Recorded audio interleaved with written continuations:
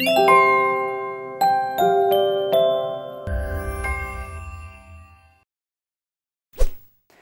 chào các em, như vậy là trong bài học trước chúng ta đã cùng nhau đi vào tìm hiểu về một trong những quá trình quan trọng ở thực vật Đó chính là quá trình vận chuyển các cái chất trong thân cây Bao gồm hai loại dòng là dòng mạch gỗ và dòng mạch dây đúng không nào? Vậy thì câu hỏi mà thầy muốn chúng ta sẽ cùng trả lời để xem rằng là ai là người nhớ kiến thức bài hôm trước trước khi xem bài học hôm nay đó chính là hãy kể tên các cái động lực chính trong việc là giúp cho dòng mạch gỗ được vận chuyển liên tục trong thân từ rễ lên thân tới lá cây nào À vậy thì các bạn thấy rằng là câu hỏi này dễ nhân kẹo đúng không? Không trả lời chỉ cần nhìn ảnh cũng trên hình ảnh trên bảng các bạn cũng thấy được ngay. Đó là ba động lực chính gồm lực đẩy hay gọi là áp suất rễ này, lực liên kết giữa các phân tử nước với nhau và giữa phân tử nước với thành mạch gỗ này. Và một cái lực ở phía trên đó là lực hút do quá trình thoát hơi nước tạo ra, đúng nào? Vậy thì các bạn thấy rằng là thoát hơi nước nó vừa là một trong yếu tố để tạo ra cái lực hút cho dòng mạch gỗ, nhưng nó không chỉ đơn thuần là một vai trò thôi đâu, mà quá trình thoát hơi nước được xem là một trong những quá trình có vai trò quan trọng với sự sinh trưởng và phát triển của thực vật. Thế cụ thể thì thoát hơi nước nó sẽ có những cái vai trò như thế nào và nó sẽ thực hiện ra sao? Thì ngày hôm nay chúng ta sẽ cùng sang phần tiếp theo để cùng nhau đi vào tìm hiểu quá trình thoát hơi nước ở gì ạ? ở thực vật và cụ thể nếu bạn nào còn nhớ thì nó chính là quá trình diễn ra ở ở lá cây. Chúng ta sang bài hôm nay, đó chính là quá trình thoát hơi nước. Thế nào? Vậy thì ở lớp 6 chúng ta đã học một bài, tên bài vô cùng đặc biệt, đó là phần lớn nước vào cây đi đâu và chúng ta cũng đã từng trả lời câu hỏi này các bạn còn nhớ không nhỉ? À, phần lớn nước vào cây sẽ được thoát ra ngoài qua lá nhờ quá trình thoát hơi nước. Vậy thì câu hỏi ở đây các bạn cùng quay trở lại đây Đó là nếu chúng ta coi cái lượng nước cây lấy vào là 100% Thì phần lớn bị thoát ra ngoài Thế phần lớn là bao nhiêu? Vậy thì bằng các cái phép đo, các cái thí nghiệm khác nhau Người ta đã đưa ra một con số ước lượng và tính toán gần chính xác Đó là nếu coi cái lượng nước mà cây lấy vào là 100% Thì chỉ có khoảng gì ạ? 2% đúng không ạ? Chỉ có khoảng 2% cái lượng nước đó được cây sử dụng cho các cái quá trình sinh lý trong cơ thể, chẳng hạn như là nguyên liệu cho quá trình quang hợp này, hoặc là sử dụng nước để tạo ra cái môi trường bên trong cơ thể. Vậy thì các bạn thấy rằng là trong 100% thì chỉ có 2% được sử dụng thôi. Còn đến 90, 98% còn lại sẽ được thoát ra ngoài thông qua quá trình thoát hơi nước ở lá. Như vậy bạn thấy rằng là phần lớn nước vào cây sẽ lại được cây trả lại môi trường đúng không nào. Vậy thì điều này nó sẽ có ý nghĩa gì? Chúng ta tưởng như vô ích đúng không? lấy vào lại thải ra. Chúng ta nghĩ rằng nếu mà thoạt nghĩ thì thấy rằng là cái quá trình này là vô cùng là là kỳ lạ. Nó chả có ý nghĩa gì cho thực vật, đúng không? Vậy thì hãy cùng phân tích xem rằng là cái quá trình thoát hơi nước ở lá này nó sẽ có vai trò như thế nào, đúng không? Vậy thì vai trò đầu tiên chúng ta đã được nhắc đến với nhau ở ngay bài hôm trước, đó chính là cái quá trình thoát hơi nước này nó là một trong ba động lực của dòng mạch gỗ để giúp vận chuyển nước và ion khoáng từ dưới đi lên, đúng không ạ? Từ rễ lên các tế bào ở thân, ở lá. Như vậy cái vai trò đầu tiên ở đây, chúng ta muốn nhắc đến, nó chính là gì ạ? Là động lực đầu trên của dòng mạch gỗ, hay gọi là lực hút của dòng mạch gỗ. Đó là cái vai trò đầu tiên, đã bớt gì ạ bớt bớt vô dụng đi một chút rồi đúng không? Tuy nhiên nó còn cái vai trò thứ hai đây nữa, đó là cái quá trình thoát hơi nước qua lá diễn ra ở lá cây mà lát nữa chúng ta sẽ đi vào tìm hiểu kỹ hơn những cái cấu tạo của lá cây nó phù hợp với quá trình này ấy. Chúng ta sẽ thấy rằng là khi mà lá cây thoát hơi nước thì các cái tế bào đặc biệt trên biểu bì nó gọi là các tế bào khí khổng này nó sẽ có sự gì ạ? đóng mở để cho hơi nước thoát ra ngoài. Và khi mà khí khổng mở, thì hơi nước sẽ thoát ra ngoài. Và đồng thời lúc này thì các cái phân tử khí, đúng không ạ? Nó sẽ là làm mở khí khổng này. Và đồng thời lúc này thì các cái phân tử khí ở đây như là các phân tử oxy sẽ đi từ trong ra ngoài. Và CO2 sẽ đi từ bên ngoài môi trường không khí vào trong các cái cái phần phía trong của lá cây. Và CO2 nếu với chúng ta oxy là cái chất cần thiết, đúng không? Vậy thì với thực vật nếu mà trong quá trình quang hợp này ở thực vật ý, thì oxy được coi là một cái loại khí thải do quá trình quang hợp tạo ra. Vậy thì ờ, khi mà nó lấy vào thải ra oxy này đồng thời nó sẽ lấy vào CO2 thì CO2 này lại là một trong những nguyên liệu chính của quá trình quá trình quang hợp đúng không? Như vậy nó sẽ giúp cho gì ạ? cung cấp được cái nguyên liệu cho quá trình quang hợp diễn ra. Và các bạn thấy ngay rằng à ở đây thì cái quá trình thoát hơi nước và quá trình trao đổi khí giữa thực vật và và môi trường là hai quá trình diễn ra song song và đồng thời. Cùng với lúc hơi nước được thoát ra ngoài thông qua khí khổng, thì lúc này CO2 được khuếch tán vào bên trong và CO2 chính là nguyên liệu quan trọng cho quá trình quang hợp ở thực vật để tạo chất hữu cơ. Trước tiên là để nuôi sống chính cơ thể thực vật và sau đó là gì nhỉ chất hữu cơ này là thức ăn cho các loài động vật khác và nó còn tạo ra oxy và nó thải lại môi trường để cho các loài sinh vật khác có thể có oxy để cho cho cơ thể nó thực hiện quá trình là là hô hấp đúng nào? Như vậy bạn thấy ngay rằng là quá trình thoát hơi nước nó có vai trò rất quan trọng với thực vật để giúp thực vật lấy được nguyên liệu cho quá trình quá trình quang hợp. Đó. Và cái điểm đặc biệt nữa ở đây cái vai trò tiếp theo nữa ở đây là giống như chúng ta thôi. Vào những ngày nắng nóng thì chúng ta thường toát mồ hôi đúng không ạ? Thì ở thực vật cũng vậy. Và những ngày càng nắng nóng thì quá trình thoát hơi nước diễn ra càng mạnh. Để làm gì nhỉ các em? À, đơn giản thôi bởi vì lá cây thì liên tục bị ánh sáng mặt trời soi và chiếu, khiến cho lá cây nhanh chóng bị tăng nhiệt độ. Và khi mà cái gì quá cũng không tốt, đúng không ạ? Nhiệt độ mà cao quá có thể khiến cho các cái quá trình sinh lý, chẳng hạn như quang hợp hay là vân vân, ở trong lá cây nó bị thay đổi và giảm hiệu quả.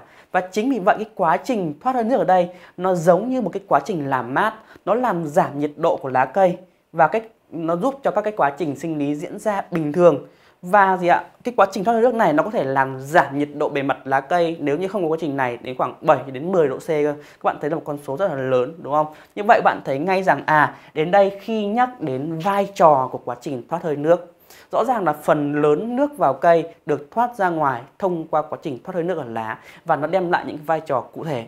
Thứ nhất là nó tạo ra cái động lực đầu trên của dòng mạch gỗ. Thứ hai là nó giúp cho có thể thực hiện quá trình trao đổi khí. Và cái thứ ba là nó giúp làm mát bề mặt lá để có thể đảm bảo quá trình sinh lý diễn ra một cách ổn định, một cách bình thường. Đúng không nào? Vậy từ nãy đến giờ chúng ta đã nói rất nhiều đến quá trình thoát nước này nó diễn ra ở lá. Thế tại sao nó diễn ra ở lá mà không phải các bộ phận khác? Chúng ta sẽ cùng tiếp tục đi sang phần 25 mã để cùng tìm hiểu cái quá trình thoát hơi nước ở lá và để xem rằng là cấu tạo của lá cây nó có điểm gì đặc biệt. Thế nào? Đó. Vậy thì không phải là ngày xưa khi nghiên cứu người ta vẫn đọc sách giáo khoa như các bạn đâu. Bởi vì lúc đó chưa có ai làm nghiên cứu này cả. Vì vậy người ta phải tiến hành các cái thí nghiệm, các thực nghiệm để phân, từ đó phân tích xem rằng là à lá cây nó có đặc điểm gì về cấu tạo để nó phù hợp với cái cái chức năng đó. Vậy thì đây ta cùng đến với một cái thực nghiệm của Garo để đo cái lượng nước thoát ra ở hai mặt lá. Trong thí nghiệm này mới thiết kế rất đơn giản như sau. Là sử dụng một cái lá cây và hai cái hệ thống phễu ở phía trên và phía dưới và trong mỗi phễu này đều đặt muối CaCl2 là một cái loại muối có thể là gì? Nó hút cái hơi nước thoát ra.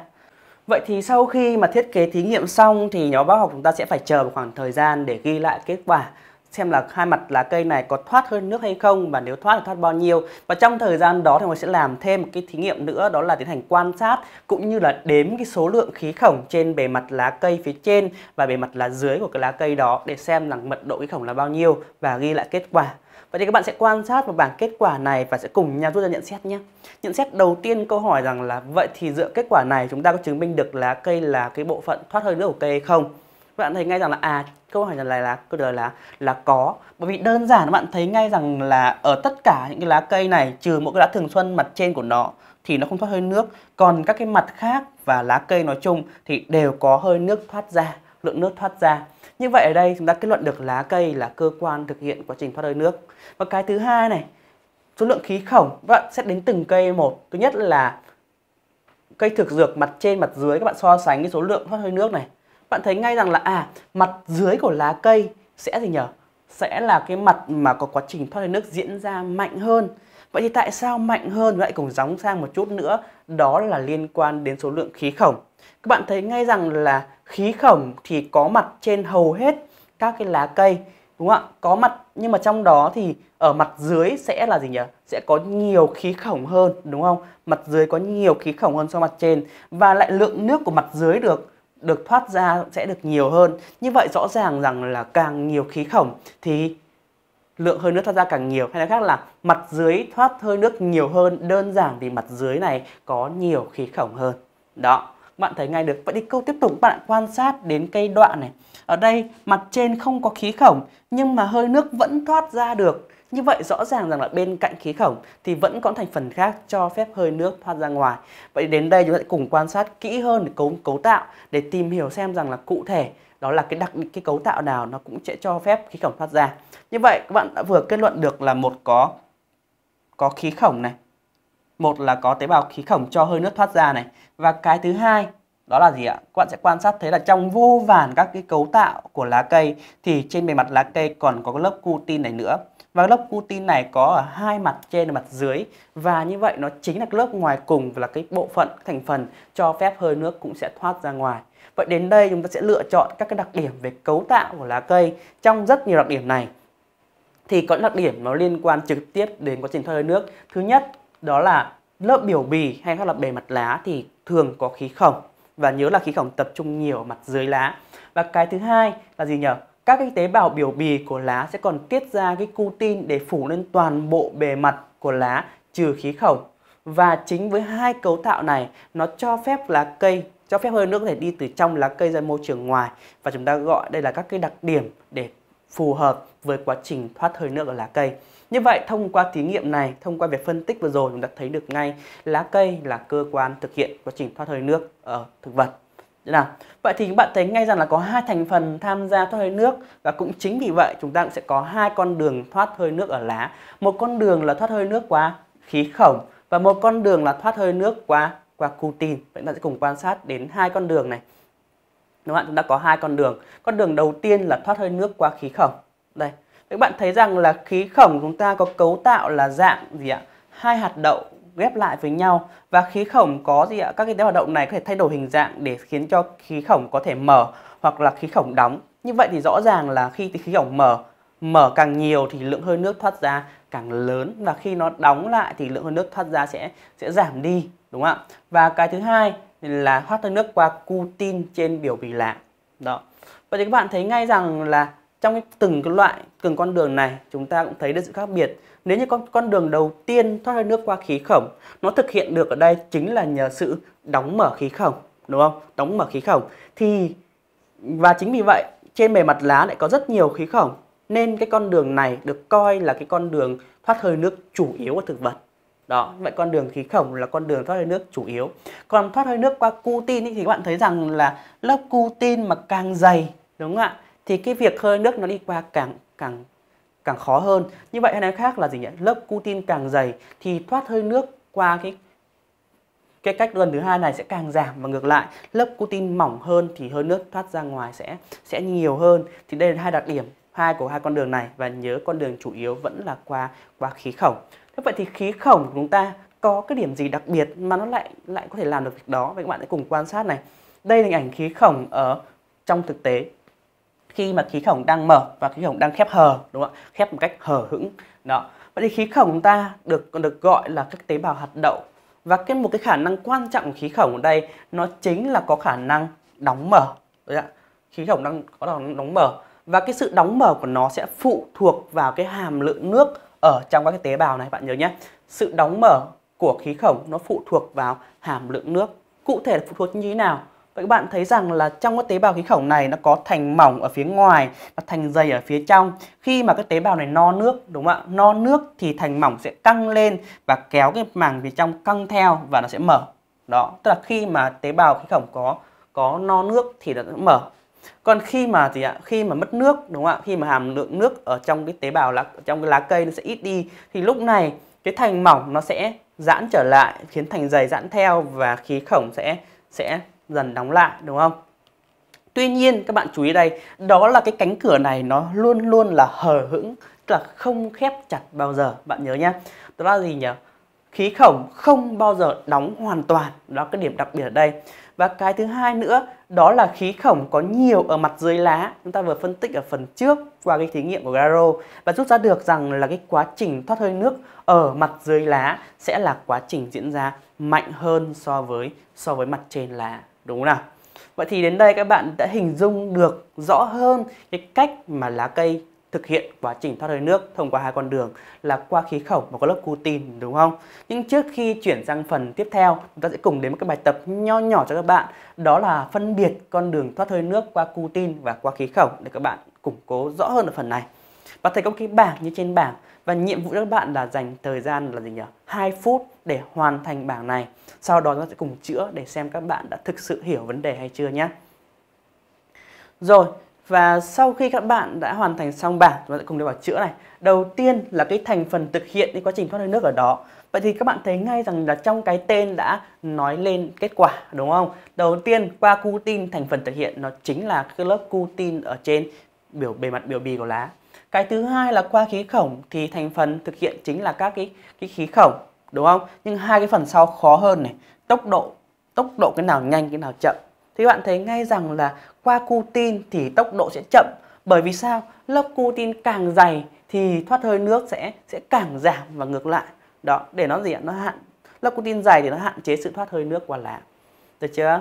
Đó. Thế vậy thì tốc độ khí khổng thì sao nhỉ? À các bạn thấy rằng khí khổng nó đóng mở và cái mật độ khí khổng rất là nhiều trên bề mặt lá cây như vậy thì rõ ràng là cái tốc độ thoát hơi nước qua con đường thứ hai này sẽ nhanh và nó dựa trên sự đóng mở của khí khổng. Thế vậy thì ở đây nó có khả năng điều chỉnh hay không? Rõ ràng cái lớp cutin này nó chẳng thể thay đổi độ dày mỏng của mình được một cách linh hoạt. Như vậy thì nếu thoát hơi nước qua cutin này thì nó là quá trình không điều chỉnh được. Còn cái quá trình khí khổng thì sao ạ? Các bạn thấy ngay rằng là khi mà lượng nước trong tế bào nhiều hay ít, nó quyết định cho việc là tế bào khí khổng mở nhiều hay là hay là mở ít. Như vậy đây thì nó phải điều chỉnh được bằng cách đóng mở khí khổng. Thì đến đây các bạn đã phân biệt được rõ hơn những cái điểm khác biệt giữa hai cái con đường vận thoát hơi nước là qua cutin và qua khí khổng này. Được chưa nào?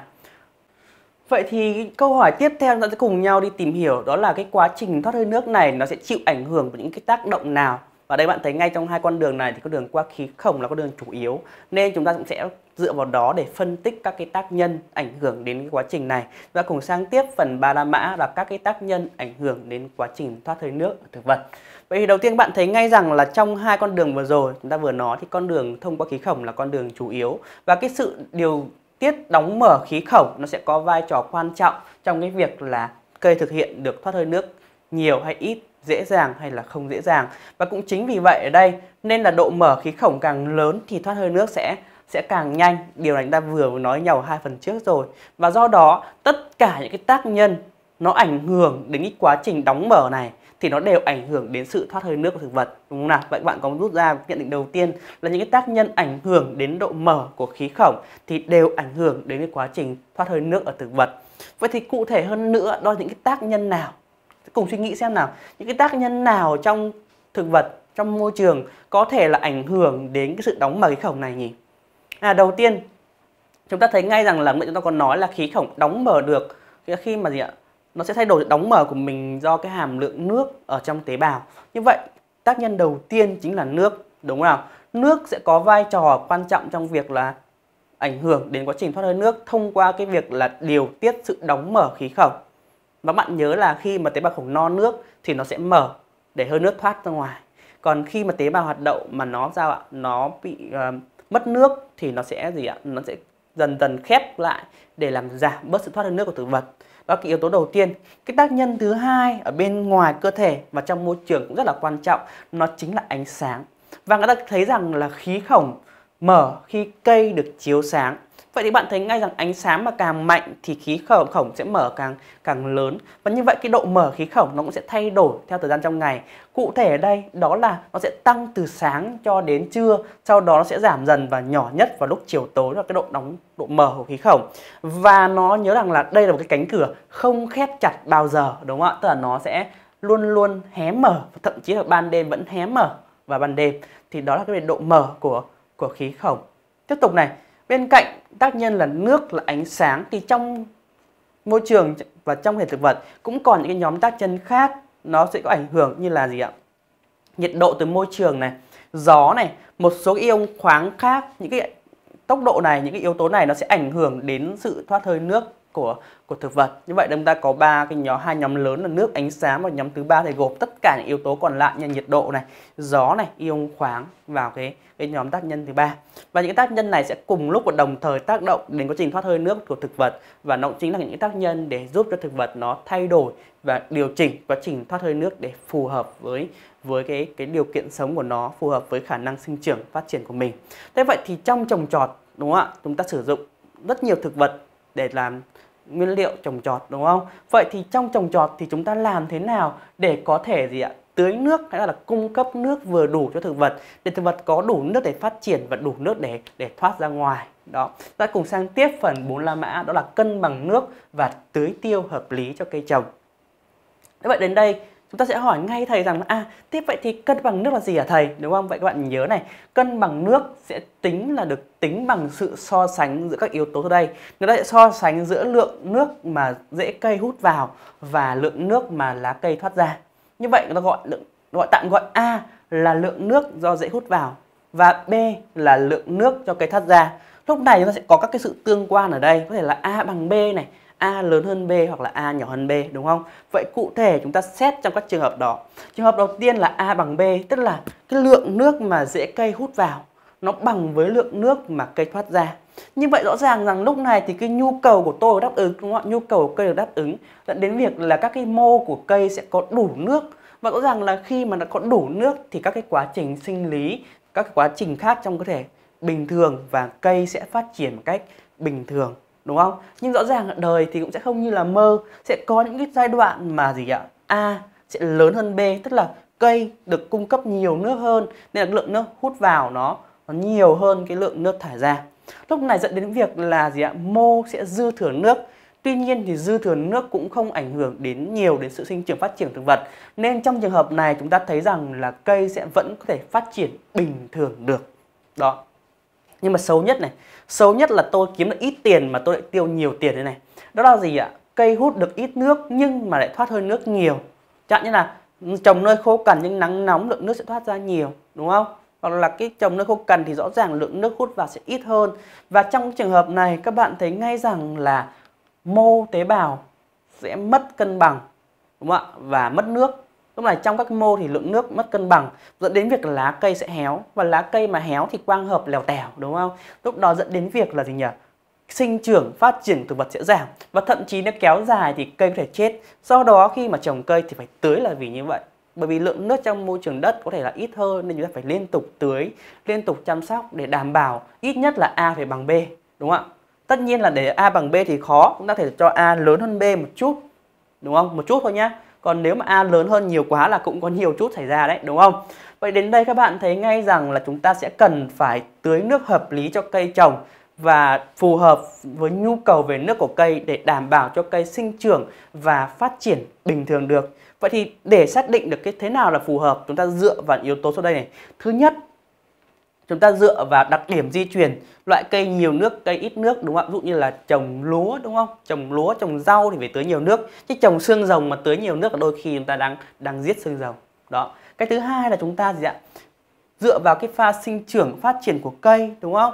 Cây mới trồng thì cần tưới nước thường xuyên và liên tục. Còn cây mà trồng nhiều lâu rồi thì hệ dễ phát triển hơn thì chúng ta có thể là giãn cách cái khoảng thời gian tưới nước, vân vân như vậy chúng ta sẽ dựa vào cái pha sinh trưởng, phát triển của cây. Và chúng ta sẽ phải dựa vào đặc điểm của đất và thời tiết nữa. Chẳng ông nào hâm mà trời mưa thì lại mang ô loa ra, mang thùng ra tưới cho cây cả. Đúng không? Chúng ta sẽ tưới vào những thời điểm mà chúng ta cảm thấy rằng là thời tiết khô hanh, lượng nước trong đất giảm đi. Đúng không? Và như vậy thì chúng ta sẽ xác định được tùy vào thời điểm khác nhau mà chúng ta nên bổ sung nước hay là bổ sung nhiều hay ít cho cây trồng. Từ đó thu được năng suất và cái kết quả cao nhất được chưa nào? Vậy đến đây chúng ta đã có thêm kinh nghiệm trong việc trồng cây, có thể là trồng rau ngoài ban công này, hay là trồng cây cảnh nhà mình, này, hay là giúp bố mẹ trồng trọt nông nghiệp vân vân. Thì đó cũng là những ý nghĩa thực tiễn mà sinh học cung cấp cho các bạn. Và bài hôm nay của chúng ta thì cũng đến đây là cũng đã kết thúc. Chúng ta đã đi qua được những cái phần nội dung chính liên quan đến quá trình thoát hơi nước về vai trò của nó này, về các con đường thoát hơi nước này, đặc điểm cấu tạo của lá cũng như là ý nghĩa trong việc nghiên cứu hiện tượng thoát hơi nước này trong việc là đưa ra các biện pháp trồng trọt và tưới tiêu hợp lý. Thì đó là toàn bộ những bài học ngày hôm nay. Một lần nữa, thầy chúc bạn ôn tập thật là tốt. Chúng ta sẽ cùng tiếp tục đi vào khám phá và tìm hiểu quá trình khác diễn ra thực vật ở những học tiếp theo nhé.